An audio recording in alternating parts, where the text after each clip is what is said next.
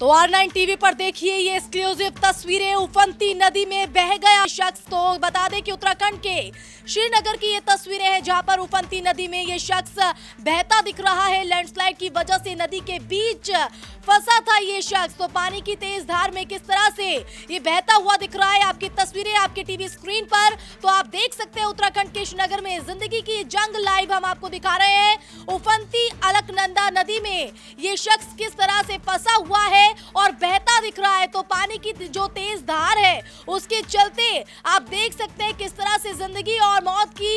जंग में ये शख्स फंसा हुआ है ये एक्सक्लूसिव तस्वीरें आर नाइन टीवी पर हम आपको दिखा रहे हैं उत्तराखंड के